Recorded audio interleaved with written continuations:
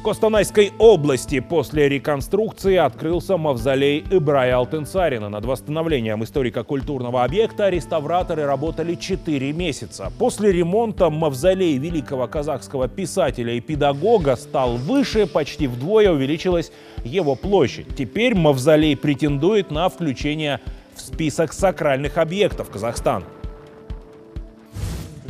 Фестиваль международного масштаба впервые проходит в Ауле. Порядка 50 вокалистов из Казахстана, Кыргызстана, Китая, Монголии и России собрались в Тарбагатайском районе, чтобы посостязаться в своем мастерстве. Мероприятие Тарбагатай Жылдыздары проходит в рамках программы Рухани Жангару. Само место проведения конкурса и царящая атмосфера в целом помогают вокалистам ближе познакомиться с местными культурными особенностями.